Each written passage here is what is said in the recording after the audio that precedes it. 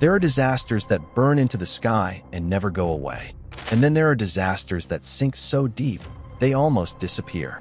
No fireball, no live cameras, no sirens echoing through cities.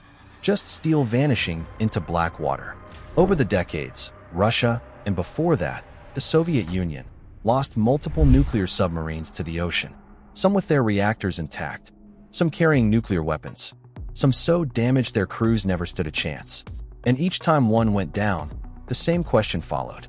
What really happened down there? Because a nuclear submarine is not just a ship, it's a moving power plant, a weapons platform, a pressurized metal world carrying dozens, sometimes over a hundred people, running on a reactor that never sleeps. And when one of those fails beneath thousands of meters of seawater, you don't just have a wreck. You have a sealed-off event, a black hole of information. The ocean helps with the silence. In deep water, pressure is not gradual. It's brutal. At just 300 meters, pressure is already enough to crush unreinforced steel. Many nuclear subs operate far beyond that. Their hulls are built like pressure vaults, engineered to endure forces that would fold surface ships like paper. But even those hulls have limits. And when those limits are crossed, it doesn't look like a slow movie-style sinking. It looks like an instant collapse. The term used is catastrophic hull failure, which is a clean phrase for something unimaginably violent. In a fraction of a second, internal pressure is overwhelmed. The structure implodes inward. Compartments don't fill with water. They disappear. Sound travels faster than thought, and by the time anyone topside realizes something is wrong, it's already over. This is what happened to the Kursk in 2000. This is how several Cold War submarines from both sides likely ended. Not with a scream, with a vacuum. But beyond the human tragedy, there's another layer. The one people fear the most radiation. Nuclear submarines are powered by reactors, smaller than those on land, but still designed to run for years without refueling. When a submarine is operating normally, that reactor is shielded and controlled by multiple safety systems. But underwater, in a wrecked state, the timeline changes. A reactor doesn't just turn off like a switch. When control systems fail during a catastrophic event, emergency shutdown mechanisms, called SCRAM systems, are designed to drop control rods into the reactor and stop the fission process instantly. Many nuclear submarines that sank did successfully scram before losing power or pressure. But here's the part no one likes to talk about. Even after shutdown, a reactor still produces decay heat, and its fuel is still radioactive. The question isn't, is it still dangerous? The question is, how dangerous, and for how long? Some nuclear submarines sit at depths where humans can barely reach with modern technology. The wreck of K-129, for example, lies deep in the Pacific. The American USS Scorpion, lost in 1968, rests at around 3,000 meters deep. Others, like Kursk, were in shallower waters, which created an entirely different problem.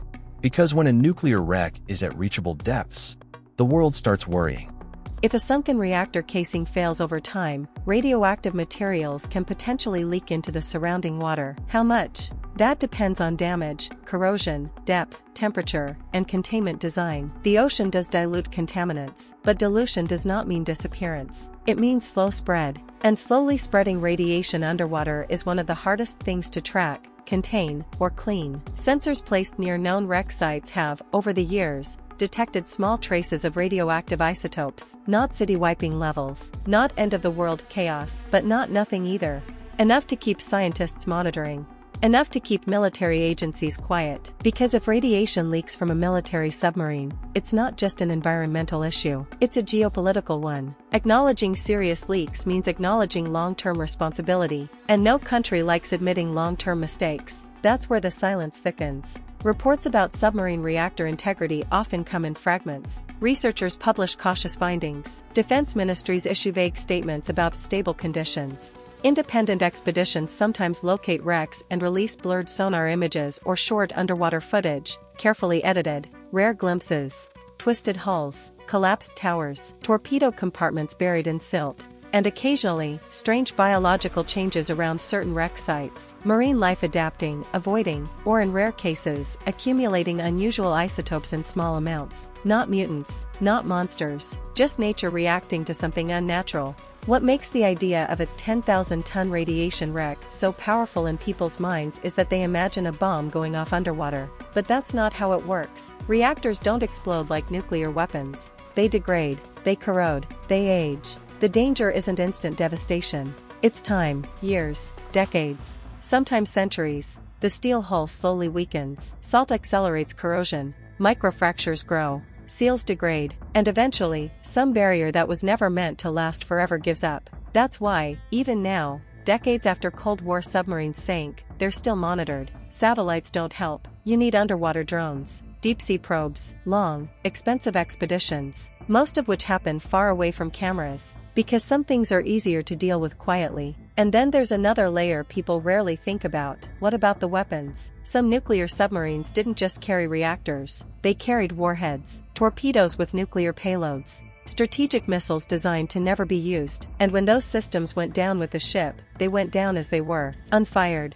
unopened, locked, those warheads are designed with safety systems to prevent detonation without proper arming, even in crashes. But again, design doesn't mean eternal. Material science isn't immortal. Over enough time, anything can fail. No one has publicly admitted a recovered nuclear warhead from a deep sea wreck. No state likes to talk about attempts either, because retrieving them is dangerous. Leaving them is dangerous too, so they sit there, cold, dark, unmoving, not active threats in the dramatic sense, but long-term risks sleeping at the bottom of the world. And that's the part that makes submarine nuclear disasters different from anything on land. Chernobyl burned, Fukushima flooded, people saw it happen, submarines vanish, and when they take reactors with them, they don't just become wrecks. They become sealed chapters of nuclear history, written in steel, salt, and silence. Not with explosions, but with weight, pressure, and time, ChatGPT said. And there's another dimension to this story that almost never gets attention,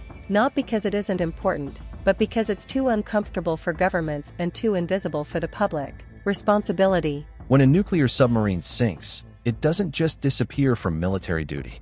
It becomes a permanent object in international waters or contested maritime zones. It becomes an environmental liability, a potential hazard. And unlike a sunken cargo ship leaking fuel, you don't get to pump a nuclear reactor dry and move on. You inherit it. For decades, there are underwater graveyards in the Arctic and North Atlantic where multiple Soviet-era reactors and submarines rest. Some were deliberately sunk during decommissioning because proper dismantling was too expensive. Others were lost in accidents. Cold War priorities valued speed, deterrence, and secrecy over long-term safety planning. And now those decisions sit at the bottom of the sea. Occasionally, international research missions propose joint cleanup or containment efforts, reinforcing reactor casings, encasing wrecks in protective structures, removing particularly hazardous fuel components. But these ideas often collide with political reality, because admitting that cooperation is needed means admitting vulnerability, and no nuclear power likes that sentence. Plus, practical challenges remain brutal. Even with modern submersibles, remotely operated vehicles, and deep-sea robotics, working at depths of 2,000 to 4,000 meters is slow, expensive, and risky. Every operation is a calculated gamble between engineering possibility and financial willingness. So most wrecks stay where they are, monitored, observed, left alone, and nature, slowly, continues its work. Marine biology around some wreck sites has become a quiet area of study. Scientists have observed how certain microorganisms colonize metal hulls and how corrosion releases trace elements into surrounding sediment. Even without dramatic radiation leaks, these wrecks become artificial reefs of a strange kind. Not healthy ecosystems, but altered ones. Zones where metal and history twist into the natural world.